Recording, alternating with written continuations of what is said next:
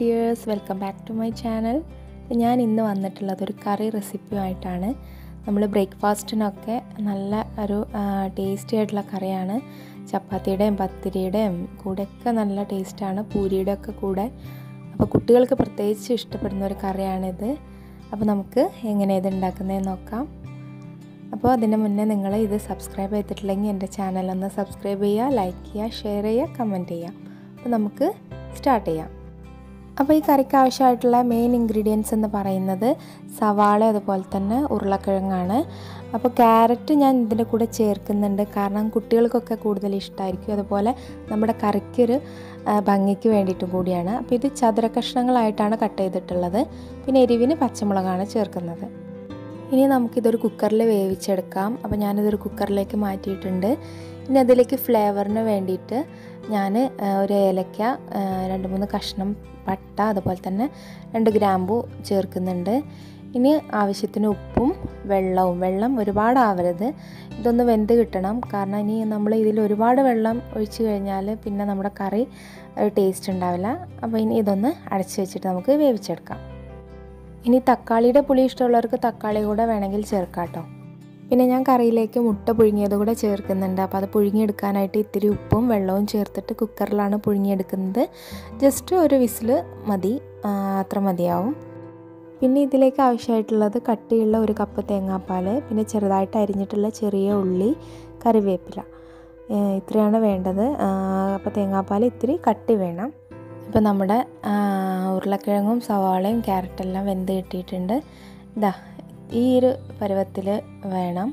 പിന്നെ കുറച്ച് വെള്ളം ഇതിലുണ്ടാവും. അത് നമുക്ക് കറിയിലേക്ക് ആവശ്യമുണ്ട്. ഇനി ഇതിലേക്ക് നമുക്ക് നമ്മളെടുത്ത് വെച്ചിട്ടുള്ള തേങ്ങാപ്പാൽ ചേർത്ത് കൊടുക്കാം. ഇനി ഉപ്പൊക്കെ ആവശ്യത്തിനുണ്ടോയെന്ന് ഈ സമയത്ത് നോക്കാം. ഇപ്പോൾ ഇത് തിളച്ച് വന്നിട്ടുണ്ട്. ഇതാ ഈ ഒരു പരുവത്തിൽ നമുക്ക് ഓഫ് ചെയ്യാം. കാരണം ഇത് ഇനി തണുത്ത് വരുമ്പോൾ ഒന്നുകൂടെ കുറുകും. അപ്പോൾ ഈ കറി ഇത്തിരി ഒരു കുറുകിയ രീതിയിലാണ് കേട്ടോ ഉണ്ടാവുക. അപ്പോഴാണ് ഇതിന്റെ ടേസ്റ്റ്. ഇനി ഇതിലേക്ക് നമുക്ക് ഇതിലേക്കുള്ള ഉള്ളി മൂപ്പിച്ചെടുക്കുക. അപ്പോൾ രണ്ട് ടേബിൾ സ്പൂൺ വെളിച്ചെണ്ണയാണ് യൂസ് ചെയ്യുന്നത്. വെളിച്ചെണ്ണയിൽ ചൂടാകുന്ന സമയത്ത് ചെറിയ ഉള്ളി അരിഞ്ഞു വെച്ചിട്ടുള്ളത് ചേർത്ത് കൊടുക്കുക. ഇനി നമ്മുടെ ചെറിയ ഉള്ളി അത്യാവശ്യം നല്ല രീതിയിൽ തന്നെ വഴന്ന് കിട്ടണം. അതിനുശേഷം അതിലേക്ക് കറിവേപ്പില കൂടെ ചേർത്തിട്ട് നമുക്ക് നമ്മുടെ കറി ഇതിലേക്ക് നമ്മുടെ റെഡി ആയിട്ടുള്ള കറി ഇതിലേക്ക് ഒഴിച്ചു കൊടുക്കാം. കറി ഇനി തിളപ്പിക്കേണ്ട കേട്ടോ. നമ്മൾ നേരത്തെ തിളപ്പിച്ചതാണ്. നമുക്ക് ഇതുപോലെ വേണമെങ്കിൽ യൂസ് ചെയ്യാം. പക്ഷെ ഞാനിതിലേക്ക് പുഴുങ്ങിയ മുട്ട കൂടി ചേർക്കുന്നുണ്ട്.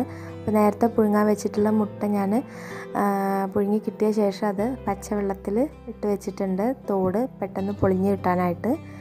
അപ്പോൾ അത് ഞാൻ പൊളിച്ചെടുത്തിട്ടുണ്ട്. ഇനി ഞാനിത് ഹാഫായിട്ട് കട്ട് ചെയ്തിട്ടാണ് കറിയിലേക്ക് ചേർക്കുന്നത്. അപ്പോൾ കോഴിമുട്ടയ്ക്ക് പകരം വേണമെങ്കിൽ നിങ്ങൾക്ക് കാളമുട്ടയും ചേർക്കാം. അല്ല ഈ സ്റ്റെപ്പ് നിങ്ങൾക്ക് വേണ്ട ഇത് മുട്ട വേണ്ട എന്നുണ്ടെങ്കിൽ സ്കിപ്പ് ചെയ്യാം. അത് വെജിറ്റബിൾ കറി ആയിട്ട് തന്നെ യൂസ് ചെയ്യാം.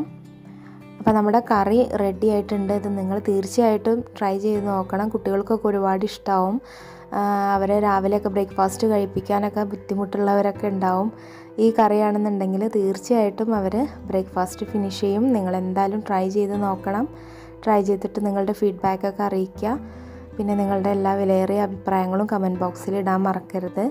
അപ്പോൾ മറ്റൊരു വീഡിയോ ആയിട്ട് വീണ്ടും കാണാം. താങ്ക്